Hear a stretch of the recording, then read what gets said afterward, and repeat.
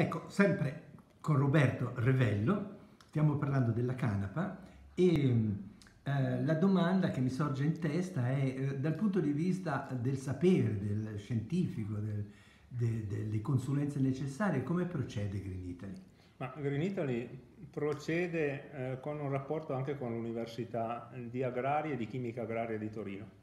Con l'Università di Agraria di Torino un anno e mezzo fa c'è stata una ragazza che ha fatto una tesi sul discorso canapa, sulla canapa in canavese e per quanto riguarda la canapa l'assorbimento di CO2 dall'ambiente. Ecco. Ed è con eh, alle spalle il supporto dell'Università di Agraria, praticamente è venuto fuori che la canapa, eh, confronto a tutte le altre piante, ha un assorbimento di CO2 da 3 a 5 o 6 volte superiore. Accidenti. Quest'anno invece con il discorso canapa e con il discorso dei 12 ettari, 12-13 ettari che abbiamo fatto mettere, fa, abbiamo fatto un accordo con l'Università di Chimica Agraria per partire da un discorso di terreni puliti. Ecco. Ciò significa che tutti i terreni in cui è stata piantata la canapa, seminata la canapa, vengono analizzati e vengono analizzati per vedere se non ci sono sostanze chimiche all'interno e se mai ci fossero sostanze chimiche all'interno vedere l'assorbimento della canapa come si comporta, se viene assorbe dei certi tipi di sostanze oppure le lascia nel terreno, ci sono dei miglioramenti eccetera eccetera. Ecco.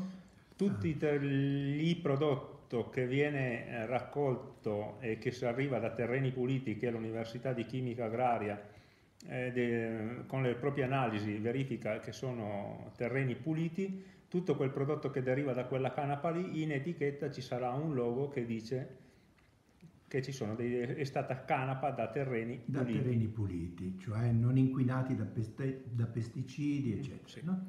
Ecco, allora Vediamo quali sono le sfide attuali, quelle sul tavolo in questo momento, di questa operazione che è un'avventura, è un'impresa. Sì, le sfide attuali non è tanto sul discorso dell'alimentazione, perché l'alimentazione ormai eh, dei, di come si fa, eh, si tratta il seme, si conosce, bisogna solo esclusivamente attrezzarsi, quindi eh, a grandi linee si sa. Eh, la sfida è arrivare sullo sfruttamento della bacchetta quindi è il lato fibra. Il lato fibra, sì, perché dalla fibra si possono ottenere tantissimi prodotti. Ecco, il che mi sembra di capire, ecco, tra questa varietà di prodotti però diciamo le scelte stanno andando verso il settore dell'edilizia. Sull'edilizia oppure a, non, non, non, non, altro fare del pellet per, per scaldarsi, ecco. eh, non altro fare delle lettiere per animali. Eh, c'è uno sfruttamento della canapa ha molteplici utilizzi. La canapa è il classico maiale vegetale che si sfrutta tutto, non si butta via niente. È una pianta molto interessante dunque.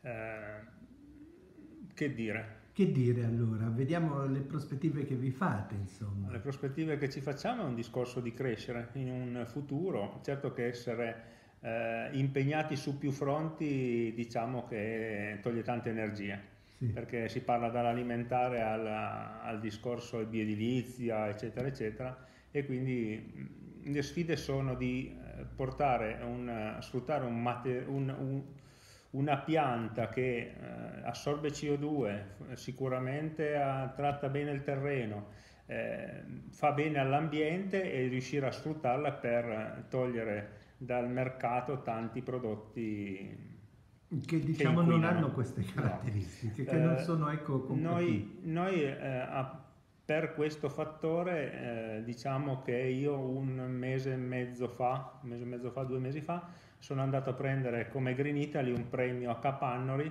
siamo stati premiati da Zero Waste, rifiuti zero, per il discorso canapa, perché la canapa eh, è un materiale che non inquina.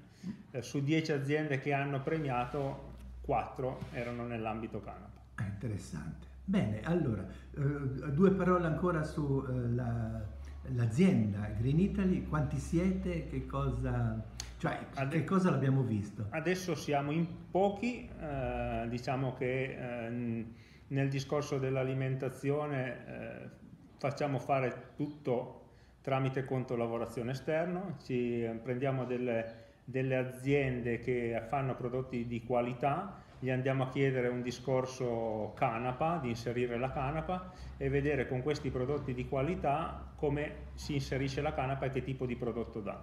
Per esempio come il torcetto di Agliè, gli abbiamo, fatto, gli abbiamo chiesto di inserire la canapa all'interno, quindi è stato fatto un torcetto di Agliè col 20% di farina di canapa.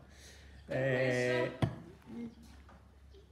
Buongiorno. Ciao Giuliano. Buonasera. Mamma, ha interrotto